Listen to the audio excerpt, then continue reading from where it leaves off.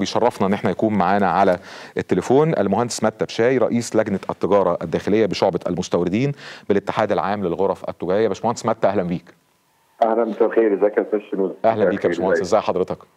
ربنا يخليك. آه، باشمهندس آه، يعني عايزين نعرف آه، ال- الزيادات دي هتبقى إزاي والالتزام بيها من التجار والتوقيت اللي الناس كانت مستنية فيه نزول فالناس فوجئت إن فيه طلوع في الأسعار. عايزين حضرتك تشرح لنا أكتر. هو طبعا إحنا كلنا فوجئنا بيوم الخميس بزيادة الأسعار.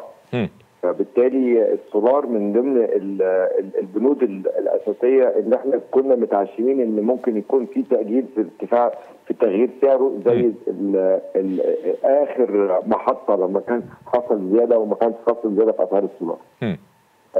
لكن ال- ال- ال- ال- السولار عشان نفهم الساده المشاهدين هو عبارة عن سلعة وسيطة بيتم آه حسابها آه دخولها في حسبه وتكلفة المنتج. بالأخص بيبان بيبان بيبان بقوة في البنود اللي ليها علاقة بالأكل والشرب عشان زي ما بنقول كده إيه بتبقى عددها كبير. فبالتالي بيسمع فيها لو في أي زيادة في المولود بتاعها تمام. عشان كده بنقول إن هيحصل تفاوت في الأسعار. مبدئيا من خمسة ممكن يوصل لغاية 10 و12 و13% 13% يا باشمهندس؟ أنا بقول لحضرتك أنا نفسي إن هي ما, ما تبقاش أصل هي من 8 وربع ل 10 جنيه يا أستاذ شنودة. أنا بتتكلم في 20% آه تقريبا تقريبا آه. لا هنقول آه، إن ممكن يتاخد على متوسط على مدار أسبوعين على مدار أسبوع على مدار ثلاث أسابيع فبرضه بناخد متوسطهم أيوة. فبنتكلم ان إن نسبه الزيادة من على السلع هتتم من 5 لغاية 13% وإحنا بنتكلم على السلع اللي, بيتم نقلها. بنتكلم على تعريفة الركوب في وسائل المواصلات دي. حاجة ودي حاجة طيب إزاي إزاي بتتم هذه النسبة؟ معلش يا باشمهندس عشان الناس برضو عايزة تفهم. يعني هي بنفس النسبة دي بتتقسم على النقلة كلها فبيبقى ده النسبة بتاعت ال- الزيادة على كل قطعة داخل الكرتونة مثلا مثلا يعني أنا بحاول أفهم مع آه حضرتك. يعني أقول لحضرتك على حاجة. اتفضل. حضرتك مثلا بتشحن شحنة من مينا اسكندرية لمينا دمياط. تمام. آه للقاهرة. آه ليها تسعير. بتشحن قطن غير لما تكون بتشحن آه بطاطس غير لما تكون بتشحن أدوية آه. غير لما تكون بتشحن سكر مم. وخضار وفاكهة. كل حاجة وعلى حدة.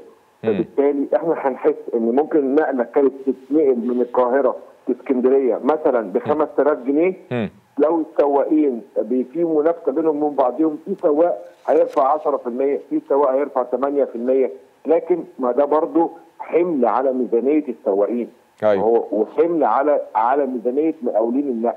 إن ده برضه بدل ما هو كان بيفول التريلا أو بيفول ال- ال- النقل عربيته النقل ب 500 هيزودهم بكام؟ ب 650 تمام. أو ب 700 فده برضه لازم ينعكس على البضاعة اللي هو بي بي- بي- بينقلها وبالتالي بس البضاعة يعني لو فرضنا أنا. بحاول بحاول أفهم مع حضرتك يا باشمهندس وبرضه صحح لي لو أنا غلطان.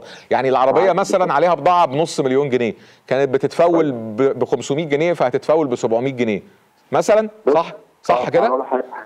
إحنا ملناش دعوة بقيمة البضاعة جوه الحمولة. آه. لكن لينا دعوة بإيه؟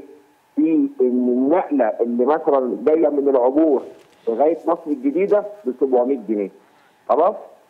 دي مثلا تكلفة النقل تكلفة الاسطوانه بتاعتها مم. مثلا 300 جنيه مم. على اقسم ال 300 جنيه على زود عليها 20% فبالتالي النقلة اللي كانت هتيجي ب 500 تيجي ب 700 أيوة. انت بقى هتحط انت بقى كصاحب مال هتحط تكلفة النقلة في السولار بتاعها الجديد على تكلفة البضاعة عشان تحملها لشنودة ومتى ومينا وكل المستهلك فإحنا هنحس إن الناس لما تاخد وقت والسولار يسمع تسعيره في البضائع أنا بقول لحضرتك أنا يعني إحنا كنا متو- ابتدينا نحس إن في نزول في الأسعار أيوة. دلوقتي إحنا حن... بدل ما كنا هنحس إن في نزول مثلا 10 15% هنحس إن في نزول 7% آه، 9% أما أنا خايف من الاشتباك ده يا باشمهندس متى؟ يعني خايف في الاشتباك بتاع نزول الدولار يقوم خابط في العلو بتاع بتاع الطاقة فالناس في الآخر ما تحسش. يعني لو حضرتك بتقوله ده اتنفذ هيبقى نسبيا كويس لكن أنا خايف ما نحسش بالفرق ده.